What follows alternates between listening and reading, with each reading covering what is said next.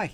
This week in class, we talked about valuing equity in deeply distressed companies as an option.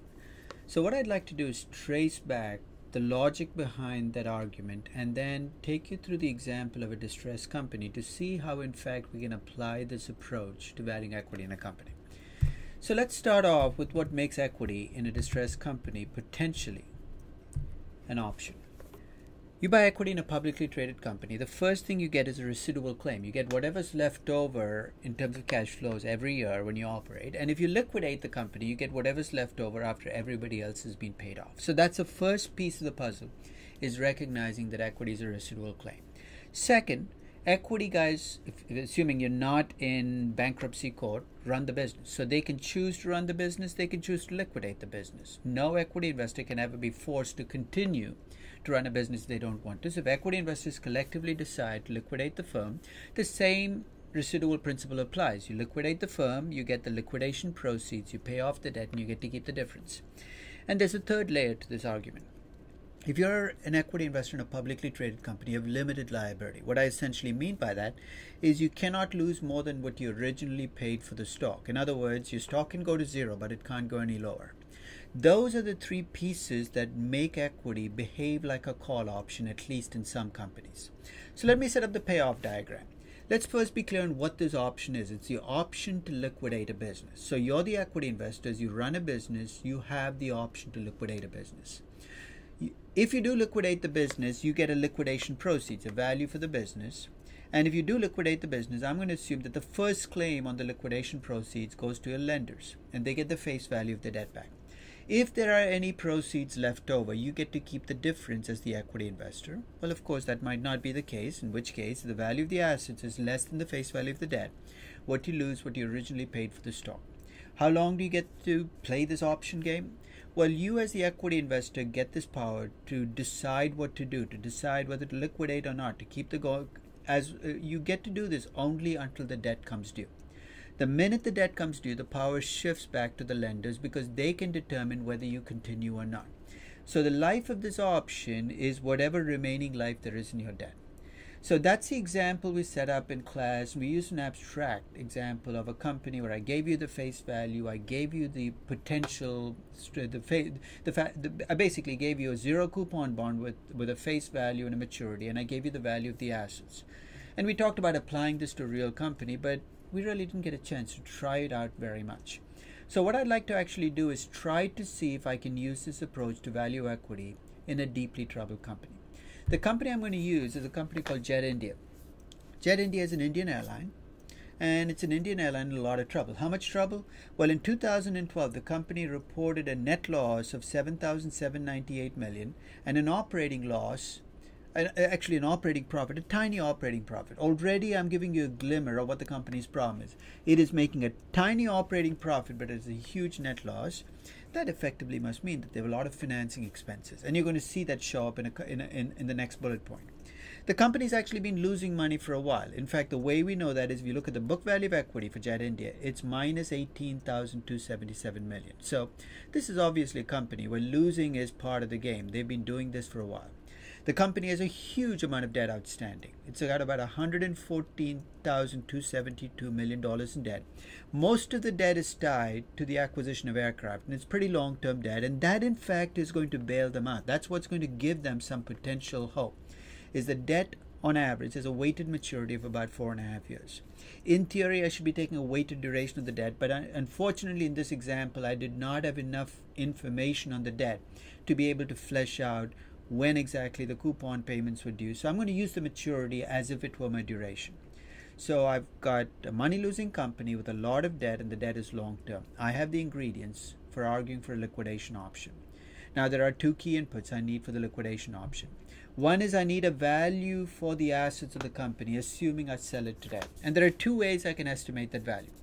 One is to do a traditional discounted cash flow value, and I will essentially take you through the process of how I tried to value Jet India using a discounted cash flow model. And the value that I got using that approach is 61,639 million. In fact, this might be a good time to, to essentially open that the, the, the discounted cash flow value. And the discounted cash flow value is right here. Okay, so there's my discounted cash flow value. There's the November 2013 is when I'm doing the valuation. There's Jet India. It's an Indian company, it's an air transport company. The revenues have essentially gone up, and that's actually something to keep in mind. Even in the midst of all this trouble, the revenues are growing about 13% over the last year, between 2011 and 2012. Their operating loss became an operating profit. They have huge interest expenses because of the debt. Their book value of equity is negative. They have a huge amount of debt. I'm going to assume that there's no R&D to consider in an airline and that the lease expenses, even though they might have a few, are too spotty to actually bring into account. They have some cash, 1,454 million.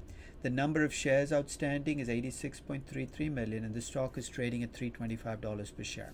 Right now they're paying nothing in taxes because they're losing money. But at some point in time when they do pay taxes, I'm going to assume the tax rate is going to move towards the Indian tax rate of 33.99%. Now here come the assumptions that are going to let me pull this company out of the hole. So this is a fairly optimistic DCF valuation in some sense. I'm going to assume that the company is going to be able to tap into growth in the Indian airline business, in the Indian airline market and get a revenue growth of 15% a year, which is not outlandish if you think about the growth rate they've been able to post even in the in, in the recent past. I'm also going to assume, and this is key, that their, their margins will improve. These are their operating margins. They'll improve to 4.84%, which happens to be the industry average for global airlines. So I'm assuming they're going to move towards that. If you notice, for the next 10 years, I'm going to assume they can get away with very little investment. They're going to, for every $10 in revenues, they've got to invest a dollar in capital. Part of the reason for that is they actually have bought a lot of the aircraft. They can take, they have excess capacity that they can take advantage of. So at least for the near term, they're going to be able to get away without reinvesting much. The risk-free rate I used was the Indian rupee risk-free rate as of 2013. And the cost of capital reflects two things. One is it reflects the fact that almost all of their business is, is in India. So the risk premium that you're going to see is actually the risk premium for India. They have, they, they have very little revenues outside India, and the fact that it's an airline company with a lot of debt. So bring those factors together. The cost of capital for the company in rupee terms is 16.83%. That's pretty much it. Let me show you what the numbers look like in the valuation. So these are my projected numbers. The revenues go from 188 all the way up to, so I almost quadruple or, or triple, at least triple, probably, you know, three point, my revenues go up three and a half times. I come up with uh, the cash flows every year. I discount those cash flows back at the cost of capital. And the value that I get for the operating assets, I'm going to stop right there, 61,639 million. Ignore everything below that because if this were a discounted cash flow valuation, the rest of the valuation is going to look puzzling. Because my value of the operating assets is 61,639. I owe 114,272 million in debt. The equity is obviously worth nothing. You're saying, why would I even think about investing in this stock? Here's where the option argument, I think, comes into play. So let me go back to my to my slides and and show you the value 61,639 that's the value that I'm going to get that I'm assuming is what I'll get if I try to sell the business today on the assumption that somebody will pay me on the presumption of growing revenues and margins improving if you feel that that's too much work and that you really can't do it, there's a shortcut I could have used here. For instance, the EBITDA that uh, for Jet India is 9,417 million. You know, so it's a pretty healthy EBITDA. A mature airline company, and I'm using a global average, trades at about seven and a half times EBITDA. You apply 7.5 to the 9.417 billion. It's this kind of a back of the envelope estimate of the value of, the company is about 70,628. So we'll try both in the option model, but I'm going to start with the 61,639 as my DCF value for the operating assets of the company. One final piece, I need a volatility in that value. I could have tried other uh, no, other approaches, but I could have even looked at the past stock price of Jet India, but I don't trust those numbers very much. They're very, very, very, you know, because it's uh, so so highly levered. The stock prices are not exactly the most dependable numbers to focus on here. So I decided to use an industry average standard deviation in firm value. Basically, I'm going to use that as my standard deviation for Jet India's value over time. Unfortunately, I don't have that number for Indian Airlines, but I do have it for U.S. companies. And I know it's this is a do, it's a different sector, but at least to start the option, I'm going to use that as my standard deviation is 46.4 percent. Incidentally, if I'd had the stomach for it, I could have taken my discounted cash flow value, made it into a simulation, and come up with the standard deviation across values. I chose not to do that. I chose to take the easy way out. But that's pretty much all I need from for in terms of my input. So now let me go to my option pricing model. So let's start at the top. For the uh, value of the firm, I'm entering in the value that I got from my DCF model, 61,639 million. The approach I'm going to use here, and it gives you three choices, industry average, you know, say direct input or, you know, based on the firm. I'm going to use the industry average, the I. And because I've used the industry average, I'm going to have to enter the number. The business I'm in is the air transport business, and the standard deviation I'm using is the U.S. airline standard deviation, which is 46.4%. So it's a pretty volatile business, and we know that already. You could have uh, you could have also used past stock and bond prices if you had them available for your company to come up with a standard deviation. Alternatively, you could have just directly inputted a number that you felt was a reasonable standard deviation. Maybe you have a gut feeling about standard deviations. I don't, but maybe you do. That's pretty much it because there's no real cost to delay here. It's not like that you the company's paying dividends or reducing its value over uh, over time. So with those inputs, this is what the numbers, oh, finally, I ask you for the face value of the debt, which is 114,272. I ask you for the maturity, four and a half years. The risk-free rate is 8%, and this is what the inputs look like to my model. For the under value of the underlying asset, I have my discounted cash flow value. For the strike price, I have the face value of the debt. And if you had option, uh, no, if you had uh, if you had operating leases, you could basically capitalize those leases and throw them in as well. For the expiration in years, I've used the weighted maturity of my debt, four and a half years. For the T-bond rate, I'm using the risk-free rate in rupees for the life of the option, four and a half years, which is 8%. The variance is going to be the 0.464 squared, which is what the 0.21, etc., etc., that you see for variance is. And finally, there's no dividends. It's D1 and there's D2. N of D, those are pretty standard output, right? But remember again, N of D2 is very roughly speaking a risk neutral probability that S will be greater than K. And we talked about this in class. But you in you take the if you take one minus n of d2 in this case that'll be about 77 and a half percent 1 minus 0.225 that's roughly speaking the probability of bankruptcy at Jet India so is there a high chance that Jet, India could go bankrupt? Absolutely. It's about 77.5%. But that's no surprise if you think about how much they owe and what the value that I'm getting for the business is. But here's the surprising factor.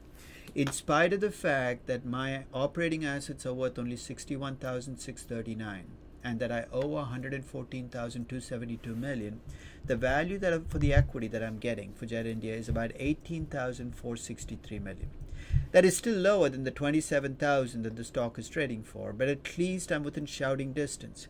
And I would argue that if you're investing in Jet India, then you're investing in Jet India because it's an option, not for the cash flows, because the cash flows are all negative, not for dividends. Excuse me, but but because it's an option. So the value that you're getting for the option is 18,463 million. In fact, I backed out the interest rate you should charge on the debt and guess what? You should be charging a hefty premium. And why shouldn't you? There's a very high chance of default. So that's the basic approach. And in fact, let's try a few what ifs, right? So let's go back in here, and the value that I got, if you keep your my, keep your eye on it, is eighteen thousand four sixty three. The first thing I tried was, what if my debt were ten year debt instead of four and a half year debt? Right? That's the only thing I'm going to change. Everything is going to stay the same. Let's see what happens to the value of the equity. It almost doubles. The longer the term of my debt, holding all else constant, the more valuable equity will become if I have a deeply distressed company because I get more time to play the game. So let me fix that back again. Let's talk about the debt itself. Let's say I owe more money. Uh, actually, that that's not going to work. So let me, you know, I could make it more money. Let's try this. Let's say oh, let's say at what point the equity becomes worthless. What if I owed a hundred and you know, 50 million instead of 114 million? Well, the equity still hangs in there, right? It doesn't go away. So you could owe a lot of money, but if there's enough variance in the value, you still might be okay with it. So let me fix that again. So the debt goes back to what it was, 114 to 72. Let's try one other thing. What about the variance? What if I make the variance zero? What if it's a completely safe business? In discounted cash flow valuation, that's a good thing, right? Let's see what happens to value of an option. Okay? It has no value.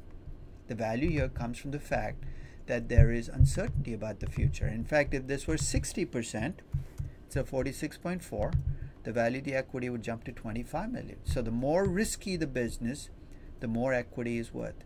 So the value of the business matters, the variance in that value matters, how long term your debt is matters, and all of those things drive in making your ec- or determine whether the equity in a distressed company will be worth a lot or not. So let's review. If you're looking at equity in a deeply distressed company, the first thing to do is to value the company's assets in place right now using either a conventional discounted cash flow model or multiples. Once you have that number, then you can go to then you can set off for the races. You can try to apply an option pricing model by coming up with a variance in that value by either using industry averages or a simulation. Look at how long term your debt is and make the debt the equivalent of your strike price and see if you can value the option. If nothing else, it'll give you new insights into what drives the value of equity in deeply troubled company. Thank you very much for listening.